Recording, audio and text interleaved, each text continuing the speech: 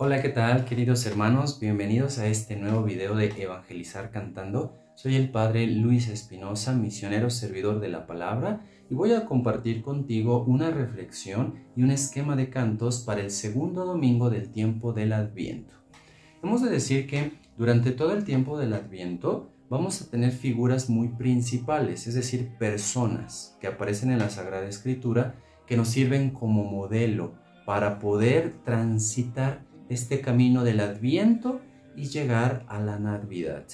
Una de ellas es San Juan Bautista, San Juan el Bautista, que en este segundo domingo de Adviento, en este ciclo B, aparece, es sumamente icónico porque no solamente nos va a decir preparen el camino del Señor, sobre todo Él en su persona, en su manera de ser, incluso en su indumentaria, nos va a enseñar eh, elementos muy fundamentales para prepararnos, porque esto debe quedarnos claro. No se trata de pasar el adviento así como si fuera un, momento solo de transición y, y, llegar a Navidad así como que mientras se acabe el adviento, pues vamos ensayando Navidad, vamos colgando adornos, vamos comprando cosas. No, es que el momento es importante. Si no hay la necesaria, la verdadera preparación, nuestra Navidad puede estar vacía podríamos ser como las cajas de regalo, que solo son cajas adornadas, muy bonitas, pero, pero vacías. Lo importante es una justa preparación y para eso es el tiempo del adviento. Nos dicen las lecturas de este segundo domingo lo siguiente.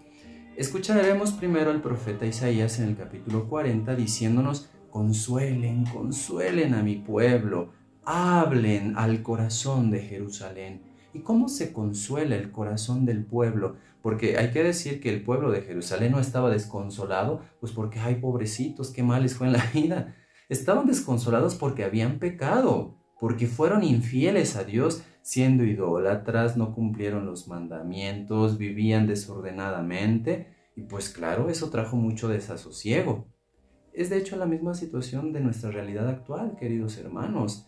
¿Por qué muchas personas viven o vivimos tristes? Pues porque no somos fieles a Dios. Sin embargo, Dios quiere nuestro bien y por eso le dice al profeta consuelen. Y, el profeta se lo dice a su vez al pueblo, consuélense unos a otros. ¿Cómo viene este consuelo? Lo dice enseguida, preparen un camino al Señor en el desierto. Construyan en el páramo, que lo torcido se enderece y lo escabroso se allane. Es decir, conversión cambio. No se prepara el camino del Señor, repito, solo ideológicamente, actos concretos. Por eso vale la pena reflexionar en lo personal, yo cómo estoy realmente disponiéndome para recibir al Señor en la Navidad. ¿Estoy haciendo algún esfuerzo espiritual concreto, extra? ¿Ya me confesé por lo menos? ¿Estoy yendo a misa ya de manera constante o tengo esa intención, esa determinación clara? Si soy servidor de la iglesia, ahora sí me estoy preparando más, estoy ensayando mejor, a conciencia estoy eligiendo mis cantos, estoy repasando, meditando los salmos que voy a entonar. Si, si lo estoy haciendo así, bendito sea Dios, pero si no, hoy el Señor nos dice, allanen, preparen el camino del Señor, porque de ser distinto, probablemente no lleguemos a contemplar al Salvador. El Salmo nos va a decir, muéstranos Señor tu misericordia y danos al Salvador.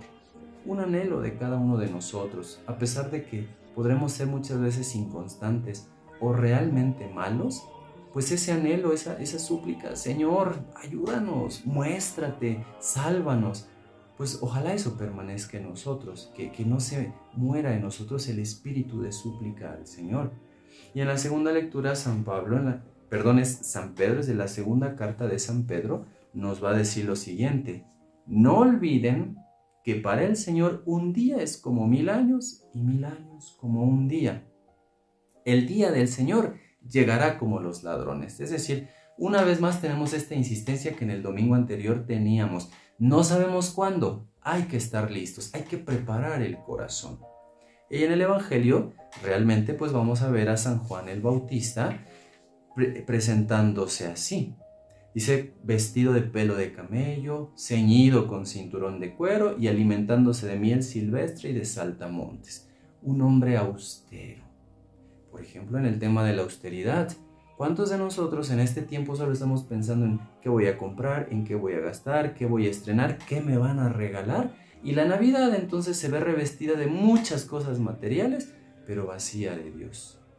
Si nuestra preparación para Navidad consiste en esto, o en estar ya pensando en la cena, pues entonces no estamos realmente preparándonos. Estamos, de hecho, distrayéndonos. Ah, pero si mi preparación va en esta línea de estar atento, de, vivir la austeridad, de revestirme de virtudes, porque de hecho este segundo domingo está enmarcado entre la solemnidad de la Inmaculada Concepción un par de días antes y un par de días después la solemnidad de Santa María de Guadalupe. Y ella, por excelencia, es una mujer de austeridad, una mujer que acoge a Dios y lo tiene como su única riqueza. Por eso es llena de gracia, porque tiene solo a Dios en el corazón. Así que, queridos hermanos, al escuchar de esta palabra, preparemos el corazón. Y si también hay cosas entre nosotros, familia, comunidades, grupos, ministerios, allanemos esas cosas. Primero con la conversión personal y luego entre nosotros la reconciliación. Y pues bueno, a la luz de esta palabra, te ofrezco aquí, como de costumbre, una serie de cantos, un esquema para cantar en este segundo domingo. En el caso de Facebook lo tenemos acá arriba y una melodía para entonar también el salmo para aquellos que tienen el ministerio de la salmodia. Y pues bueno, sin más por el momento, te invitamos a que nos sigas, nos dejes tus comentarios, nos hagas alguna propuesta, nos dejes tu like y sobre todo nos acompañes con tus oraciones. Que Dios te siga bendiciendo. Muchas gracias por todo. Hasta pronto.